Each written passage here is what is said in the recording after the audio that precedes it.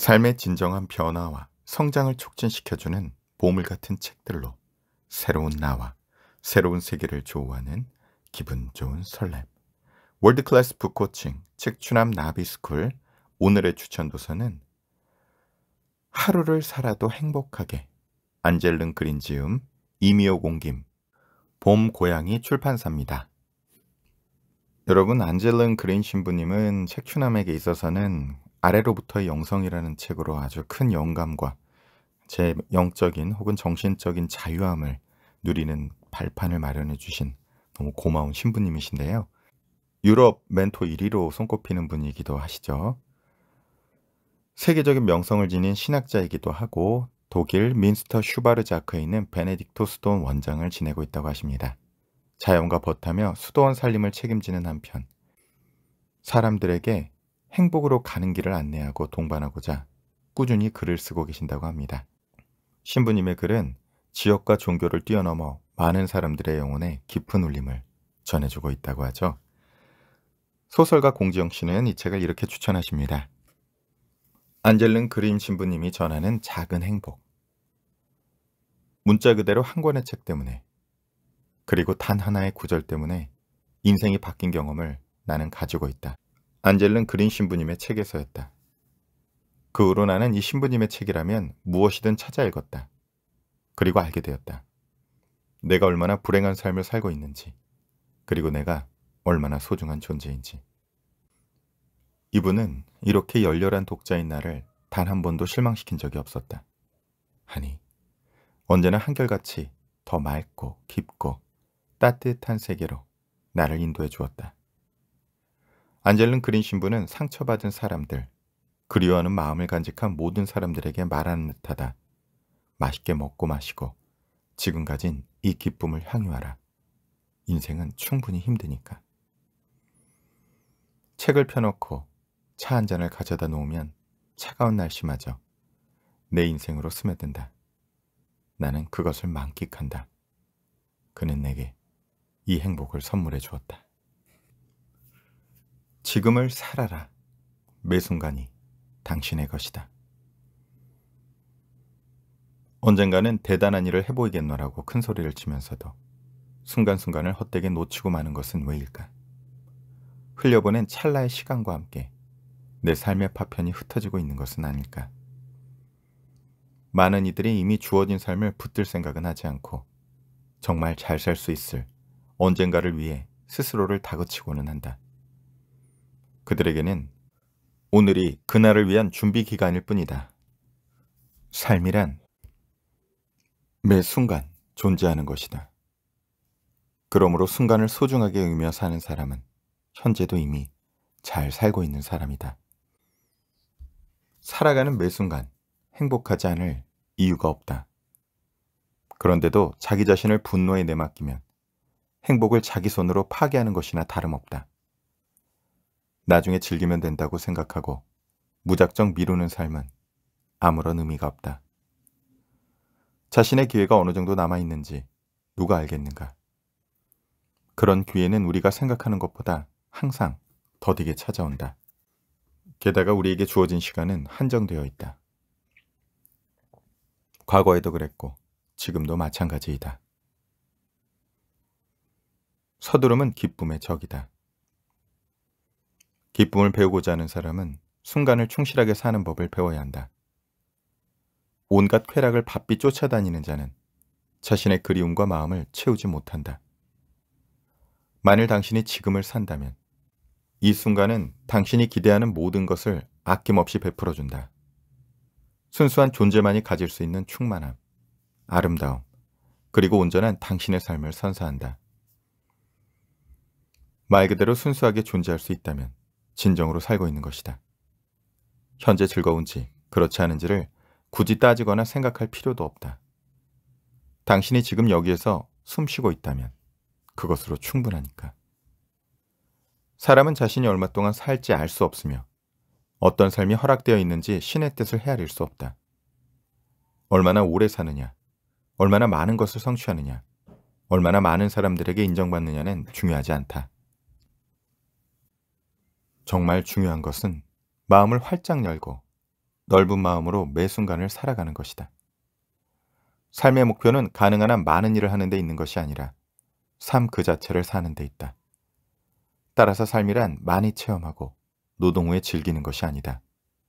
오히려 삶이란 순간을 사는 것이며 마음이 원하는 것을 따르는데 그 의미가 있다. 현존하는 것을 인지하고 삶의 비밀을 발견하는 것이 진정한 삶이다.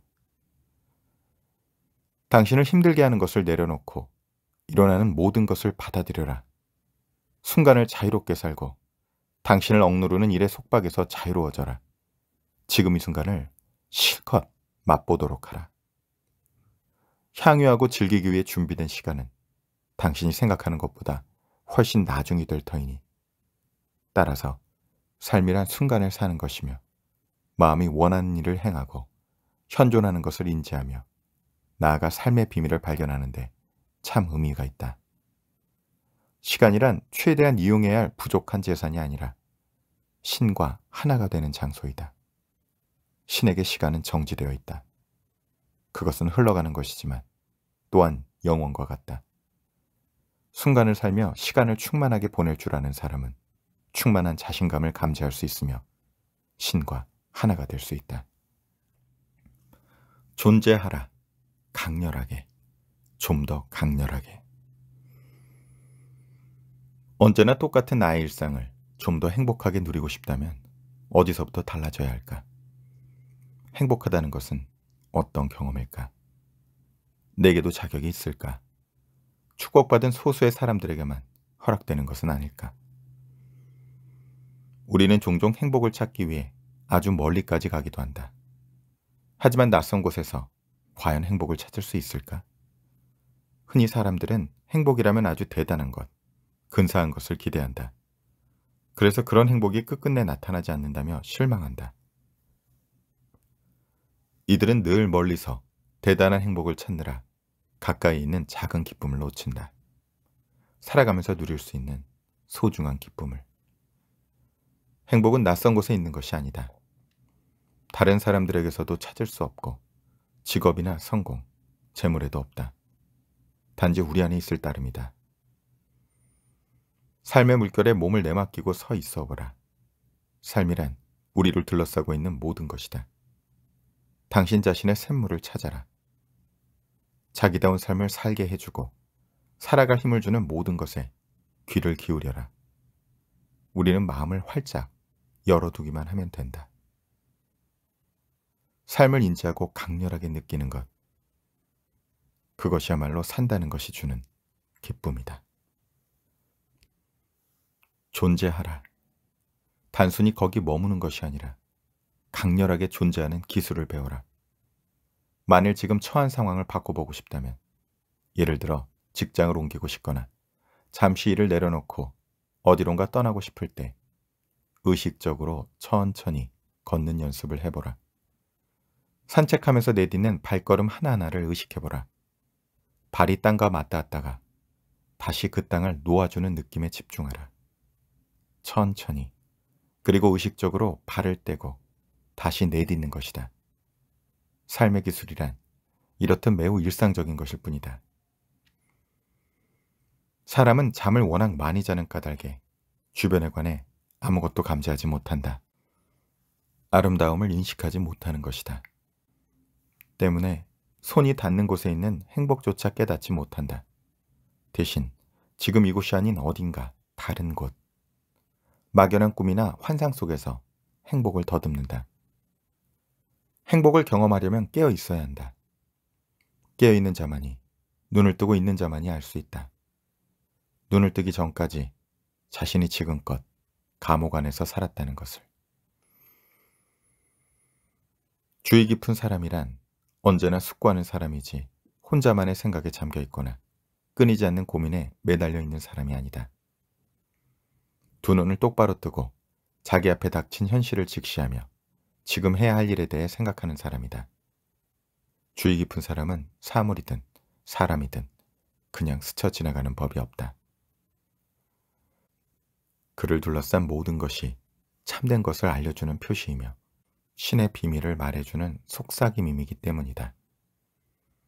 올바르게 본다는 것은 사물의 가려진 면을 보거나 무심코 지나치기 쉬운 기쁨을 발견하는 기술이다. 행복해지는 기술은 얼마든지 배울 수 있고 연습할 수도 있다. 가장 중요한 점은 지금 당장 시작할 수 있다는 것이다. 스스로에게 주의를 기울이고 자신을 소중히 여기도록 하라. 당신이 신뢰하는 사물에도 관심을 가져라. 일상의 평범한 것들에 관여하라. 그곳에 당신이 찾는 모든 것이 있다.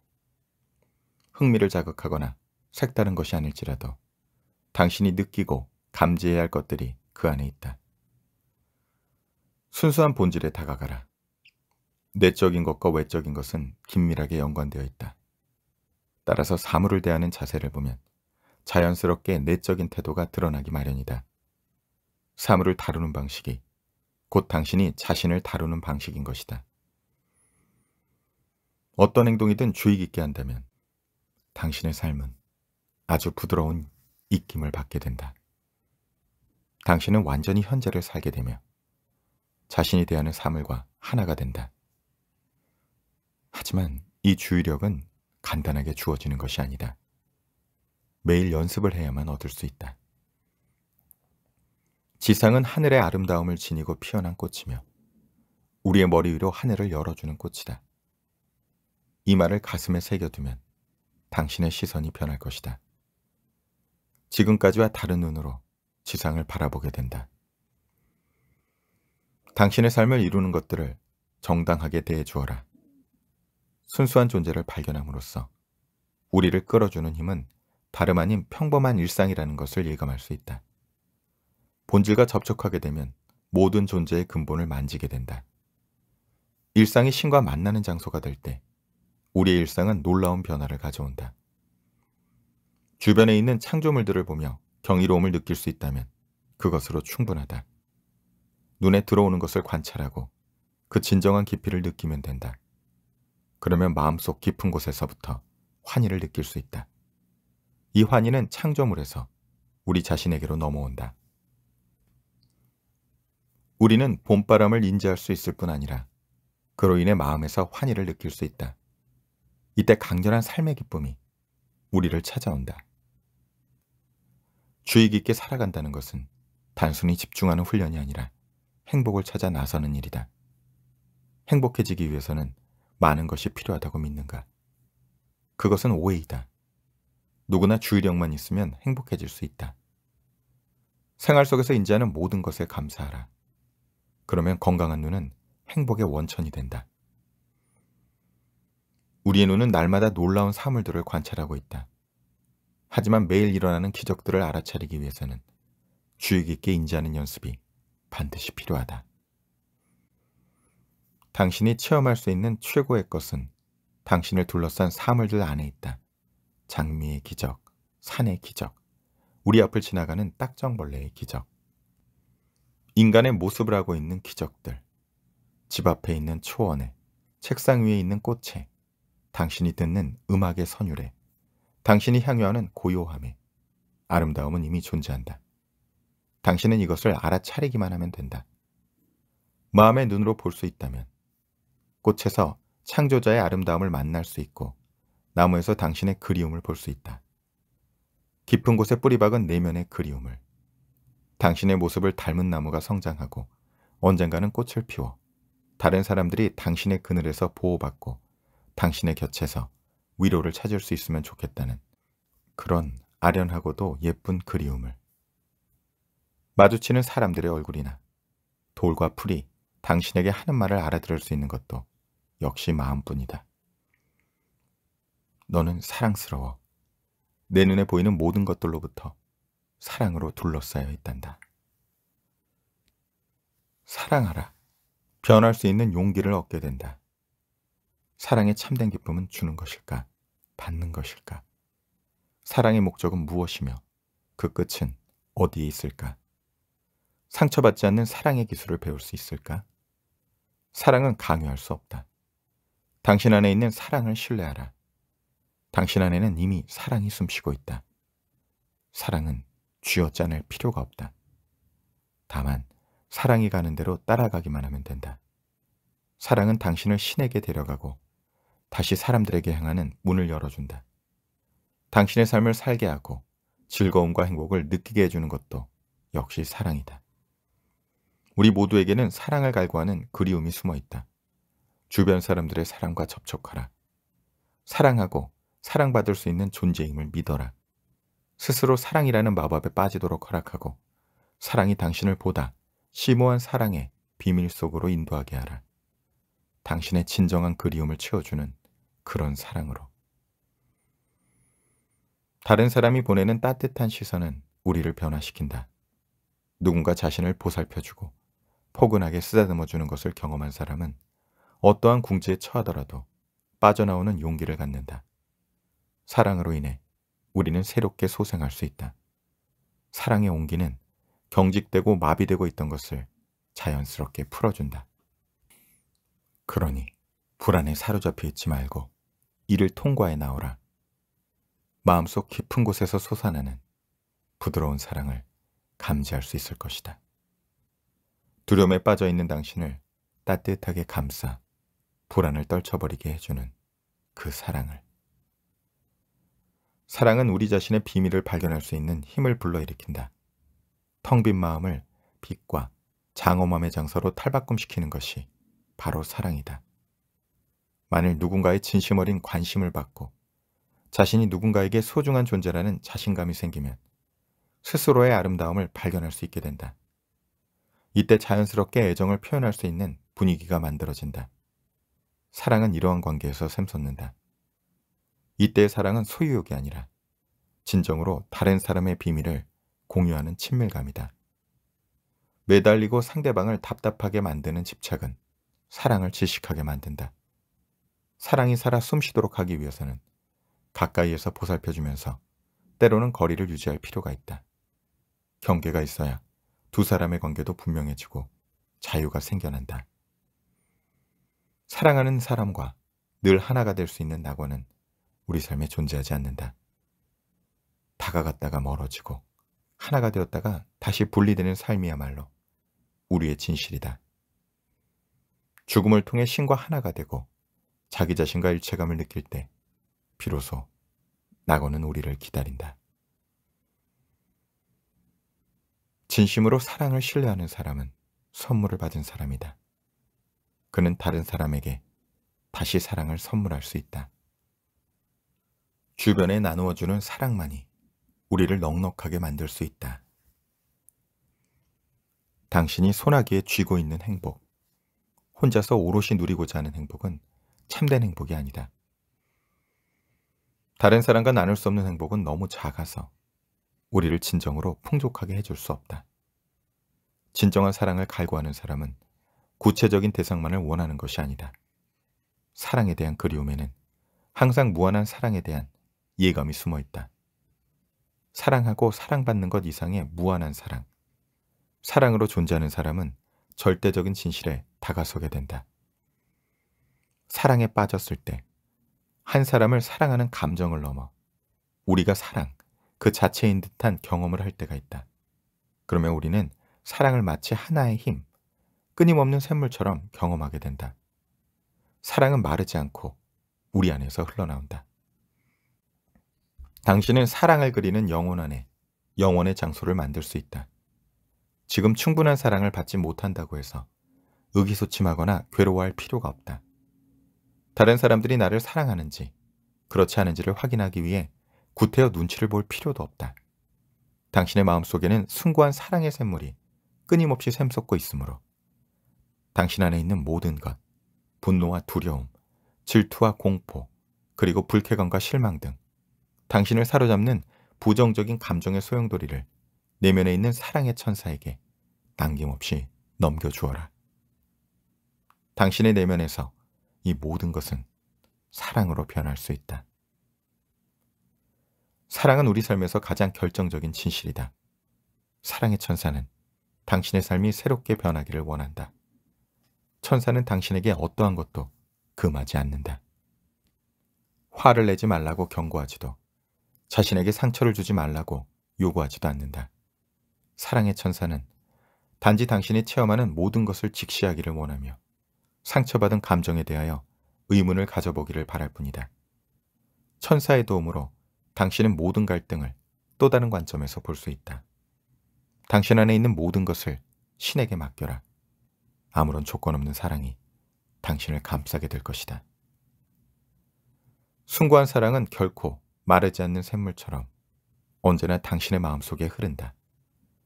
굳이 사랑을 창조하려 했을 필요는 없다. 샘물은 당신 안에서 항상 넘쳐 흐르고 있으며 언제나 손 닿는 곳에 있다. 언제든 퍼올려 마시기만 하면 된다. 사랑은 우리 삶에서 결정적인 진실이다.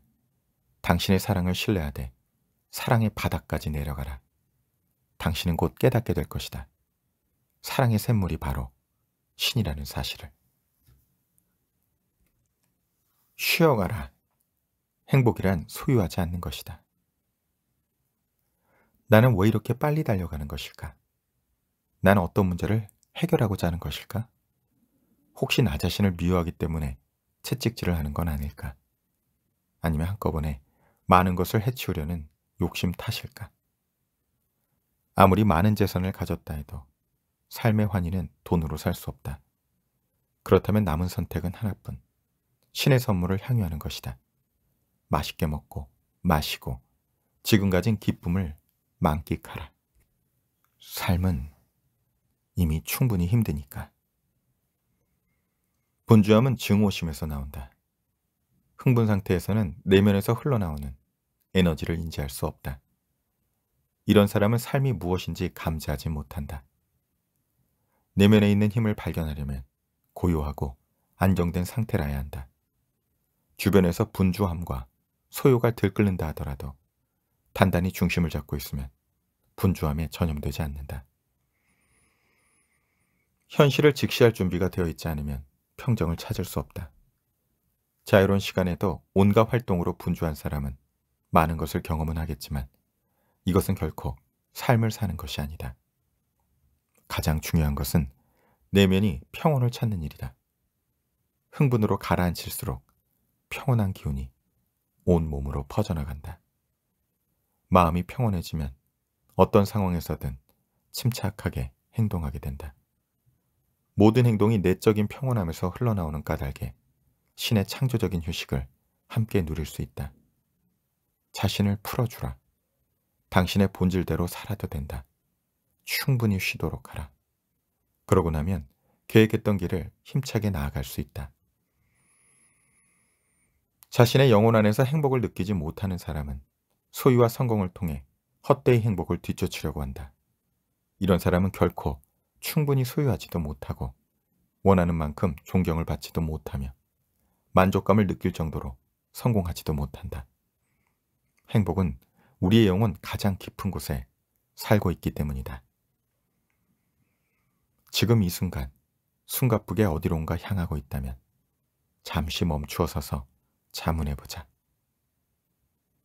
나는 도대체 무엇을 원하는 것일까? 내가 가고자 하는 곳은 어디인가? 내가 진정으로 그리워하는 것은 무엇인가?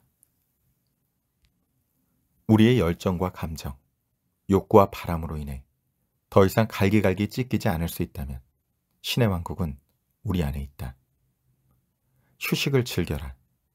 자신과 조화를 이루어야 한다. 자신과 조화를 이루는 사람은 휴식에서 어떠한 것도 바라지 않는다.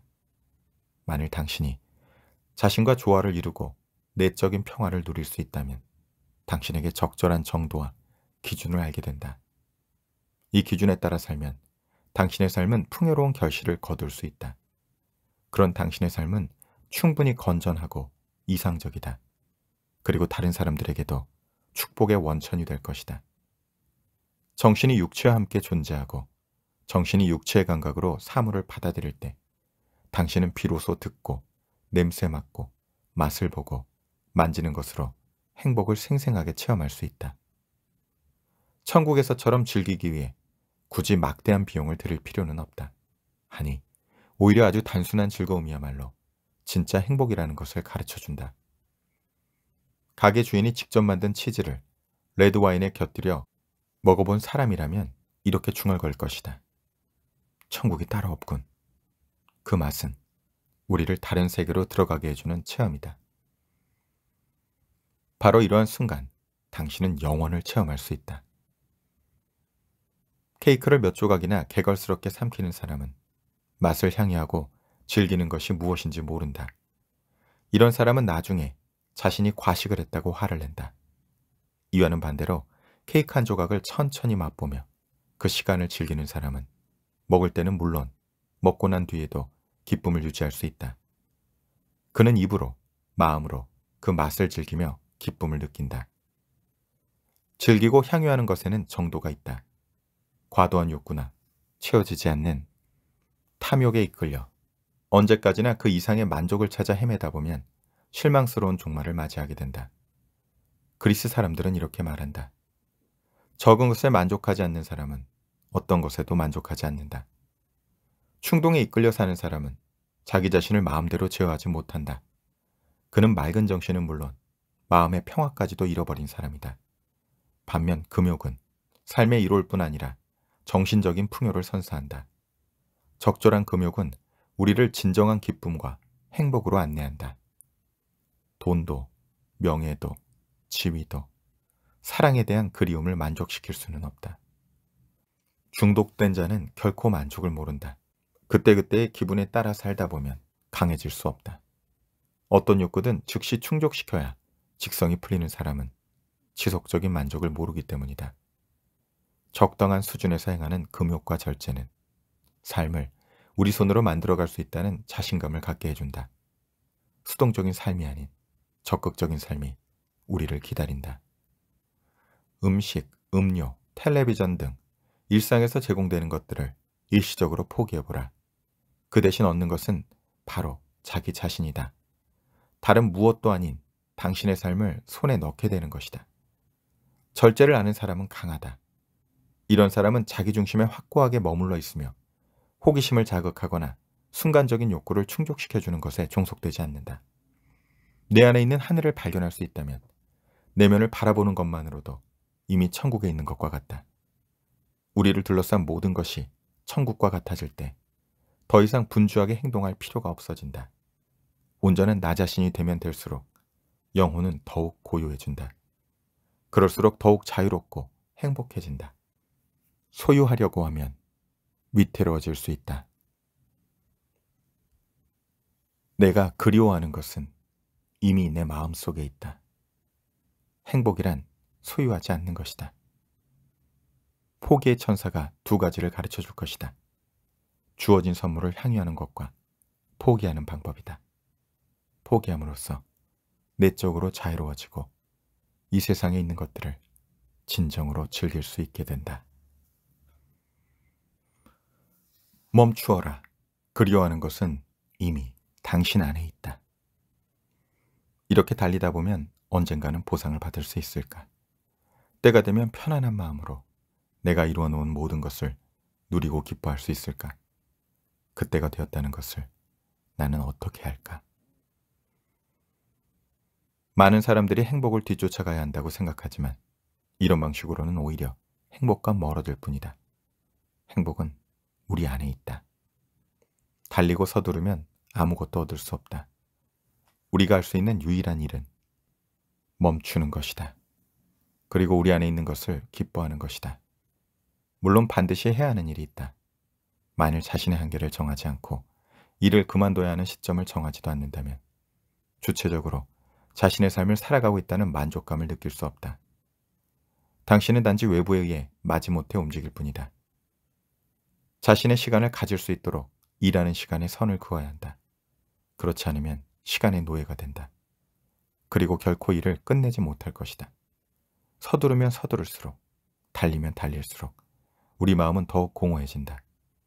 행복을 뒤쫓을수록 오히려 행복과 멀어진다. 멈추고 조용히 있을 것. 이것은 일종의 전제 조건이다. 흐릿한 안개를 걷어내고 우리가 진정으로 본질을 인지하기 위한 조건인 셈이다.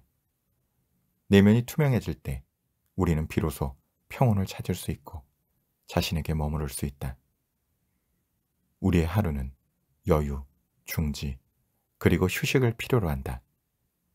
그러한 여유는 당신의 영혼이 숨을 쉬게 해준다. 이런 자유 속에서만 의식적으로 이를 받아들일 수 있고 오늘 함께하게 될 사람들을 받아들일 수 있는 것이다. 자신의 중심에서 쉬는 것이야말로 진정한 평온을 찾을 수 있는 힘이다. 의식을 치르면서 당신은 멈춤을 경험할 수 있다. 의식이란 손에 잡힐 듯 구체적인 것이다. 손으로 뭔가를 잡는다. 촛불을 켠다. 매무새를 바르게 한다. 책을 읽기 위해 자리에 앉는다. 한순간 침묵한다. 명상을 한다. 이런 의식, 리추얼을 통해 시간이 나에게 속해 있다는 느낌을 가질 수 있다. 아침 명상은 그날 하루가 달라질 수 있도록 해준다. 그로 인해 시간을 부담스럽게 여기는 것이 아니라 시간의 비밀을 감지할 수 있게 된다. 시간이 내 일정을 결정하는 대신 나 스스로 시간을 결정한다. 내 소중한 시간을 소진시키는 테러범에게서 자유로워지기 위해 한 조각의 시간을 갖는 것이다. 명상하기 위해 많은 시간을 할애할 필요는 없다. 하지만 의식은 시간이 흐르는 가운데 멈추어 있는 시점이다. 즉, 명상하는 동안 시간은 멈추어 있으며 이 순간 목적을 염두에 둔 시간은 정지하고 만다. 명상하는 동안은 온전하게 자기 자신으로 머무는 시간이다. 그 순간은 남들이 함부로 근접하지 못하는 곳, 누구도 당신에 대한 기대 심리를 가지고 접근할 수 없는 영역에서 보호받게 된다. 따라서 하루의 어느 때보다도 적극적이며 진정한 나 자신으로 살아간다는 느낌을 갖게 된다. 나는 의식을 즐긴다. 나는 나 자신을 느끼고 마침내 진정으로 숨을 쉴 수 있다. 의식을 통해 세상과 호흡할 수 있다. 항상 조금 더 서둘러야 한다고 스스로를 재촉하는 사람은 언제나 두려움에 쫓기며 살게 될 것이다. 속도란 두려움으로 인해 생겨난다. 두려움을 가진 자는 멈출 수 없기 때문이다. 이런 사람은 기다릴 줄 모른다.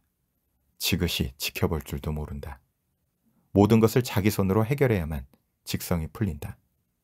그렇게 하지 않으면 여태까지 애써 쌓았던 일들이 모래알처럼 소나기에서 빠져나갈 것으로 생각하는 탓이다. 일요일에도 온갖 모임과 계획으로 분주하게 활동하는 사람들이 있다. 그렇게 함으로써 이들은 일요일의 의미를 망가뜨린다. 일요일은 우리가 다른 날과 구별해서 외부의 과제와 기대감을 차단하는 날인데도 말이다. 모든 시간이 비슷하다면 무슨 의미가 있겠는가? 일요일, 즉 안식일이 일상이 되면 일상도 역시 무의미해져 버린다. 안식일을 통해 한 주일의 흐름을 깰 수 있듯 1년은 축제를 통해서 깨어진다. 축제는 시간에 또 다른 특징을 부여한다. 축제를 통해 사람들은 잊혀진 나날을 되새기고 그 옛날 신성했던 시간을 떠올린다. 그리고 그런 시간에 참여하는 것이다. 축제는 시간을 원천에서부터 끌어올려 새롭게 하는 힘이 있다. 신성한 시간이 우리의 무의미한 시간 속으로 밀려 들어오고 그리하여 우리의 지나가 버린 시간은 다시금 생명력을 찾게 되는 것이다. 축제가 열리면 시간의 한가운데서 영혼을 체험할 수 있다. 축제는 이미 흘러가 버린 시간에 또 다른 품격을 안겨준다. 축제는 자유 그 자체이므로 목적이나 탐욕이 들어설 자리가 없는 순수한 시간이다. 축제는 다른 입장에서 시간의 의미를 해석한다. 축제가 벌어지는 신성한 시간에 우리는 시간의 진정한 의미를 예감할 수 있다. 시간이란 신이 우리에게 선물해준 순간이며 신과 만나는 장소라는 사실을 삶의 기나긴 여정에서 휴식이 우리를 기다리고 있다는 것을 알 때 즐겁고 활기차게 우리의 길을 걸어갈 수 있다. 휴식은 평온과 관련이 있다. 휴식이란 두 개의 휴식 시간 사이에 놓인 여정을 뜻한다. 어디론가 끊임없이 향해야 하는 우리는 지친 몸을 잠시 쉬게 할 숙박소가 필요하다. 적절한 때 휴식을 취해야만 끝까지 가는 길이 힘들지 않고 왔던 길을 되돌아가고 싶은 충동에 시달리지 않을 수 있다. 모순적으로 들릴지 모르지만 멈추는 것이야말로 인간적으로 성숙해지고 정신적으로 발전하기 위한 전제 조건이다. 휴식은 새로운 길을 찾는 기회이기도 하다. 새로운 방향으로 나아간다는 것은 변화하는 것을 의미한다. 지속적으로 변화하기 위해서는 잠시 머물 줄도 알아야 한다. 그런 의미에서 축제란 우리가 출발점까지 되돌아가는 헛된 노력 대신 지속적으로 변화하기 위한 동기를 부여해준다. 축제를 통해 우리는 길을 가는 도중에 잠시 체류할 수 있는 것이다. 당신이 그리워하는 모든 것은 이미 당신 마음속에 있다. 진실에서부터 도망치지 않고 멈추어서 진실의 뿌리를 내리는 것이 중요하다.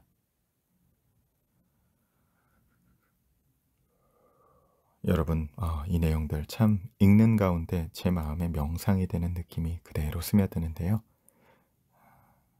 어떻게 보면 이미 너무 잘 알고 있지만 우리가 너무나 모르고 있는 내용들 그 내용들이 또 안셀린 그린 신부님의 글을 통해 이렇게 스며드는 정말 감사하는 마음이 듭니다.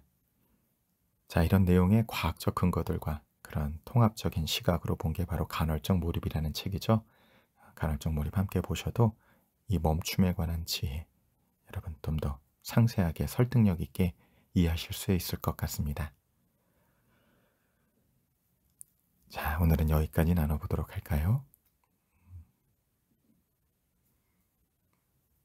들으면 들을수록 운이 좋아지고 나누면 나눌수록 행복해지는 책추남 TV. 오늘도 애벌레에서 나비로 비상하는 여러분의 날갯짓이 그 누군가에게는 멋진 행운의 나비 효과가 되는 행복 하나로 되시기 바랍니다. 감사합니다.